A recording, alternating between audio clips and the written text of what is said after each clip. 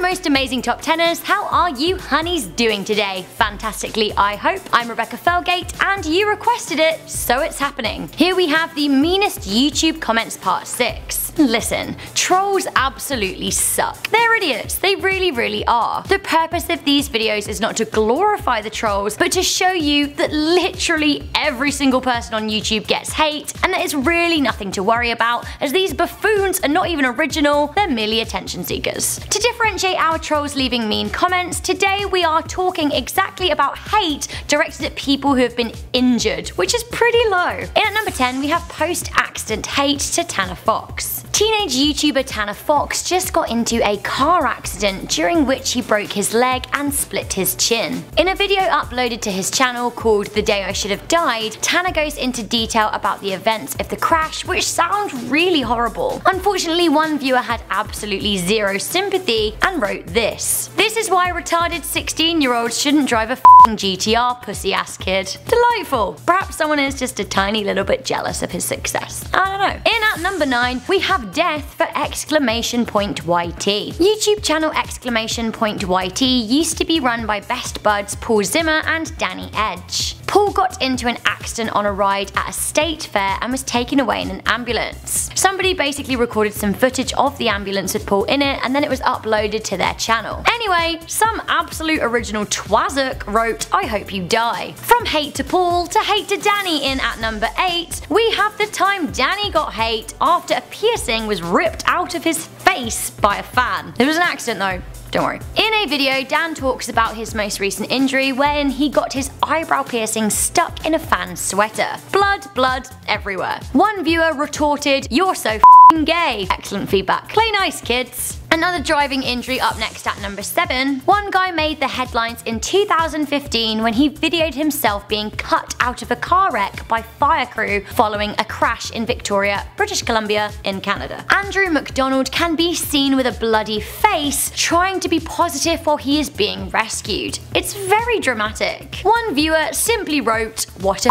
retard. I mean, that's me. Next up at number 6, YouTuber Luna talks about the time he was stabbed by a girl aged just 12. Luna has over 1 million subscribers and uploaded a video called I Got Stabbed in block capitals because YouTube. Luna was stabbed in the hand with a rudimentary weapon fashioned from some perspex. Nightmare. Well I guess one viewer gave absolutely zero F's about the whole situation as they wrote snitches literally get stitches. More apathy towards stabbing up next, and uh-oh, we have the butthole trolls at number 5. Small-scale YouTuber Cy Mike also uploaded a video called I Got Stabbed, during which he shares a slightly harrowing experience from school. Despite sharing with his audience, for some reason, and I don't really know why, a lot of his viewers have left him a comment simply to say butthole. Like, what? Is there something I'm missing? Okay, so this is where things turn quite nasty. Injuries are usually very visible, however not all of them can be seen. There are some wounds that are emotional and some pain that will be just as strong as a broken leg, but people can't see it. I am of course talking about a broken heart, and this is the kind of pain that Colleen Ballinger was feeling at number 4 as her marriage broke down. Uploaded to her YouTube channel Psycho Soprano, Colleen shared an emotional video called A Life Update.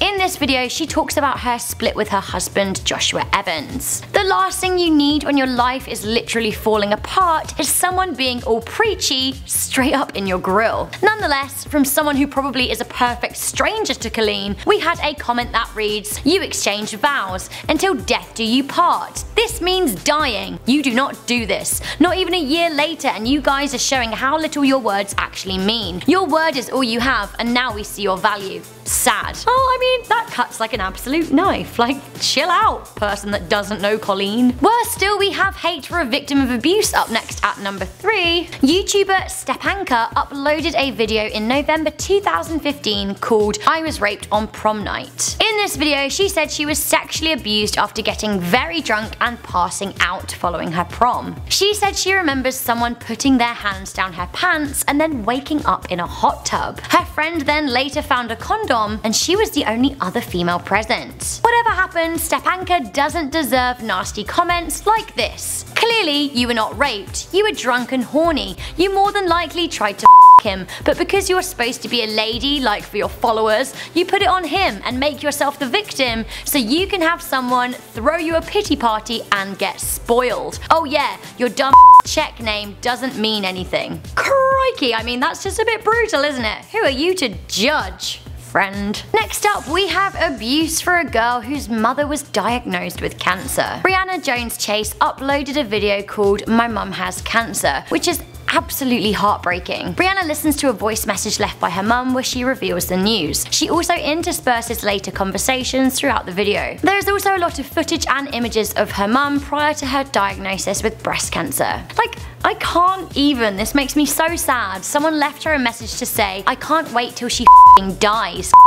I mean, what a troll. Okay, so we are here. We are caught between a vile mix of racism and HIV hate. In at number one, we have trolling of HIV sufferer Maria Mejia. Maria uploaded a video called I Have HIV in which she talks about her troubled childhood. She was infected at 16 by the leader of a gang she joined when she escaped her abusive home. Maria goes on to discuss the stigmas of the disease and living with HIV, including the perils of taking daily medication. Maria is both brave and frank and should be condemned for talking so candidly to raise awareness for the disease. Some little gutter troll, however, decided to emerge from the sewer to say, and I bet every single one of your boyfriends is a cholo, and you wonder why your life is the way it is. I mean, I don't even know what to say about that. Like, no. What an absolutely horrible human. So, what a top 10. I really think this should be the last meanest YouTube comments for the sake of my sanity. Please, just give me some unicorns. I really don't like making them, I just want happiness. However guys, just remember, the world is filled with nasty trolls who want to steal your love and light. They're hiding in dark corners and they want to feed on your joy. Just don't let them.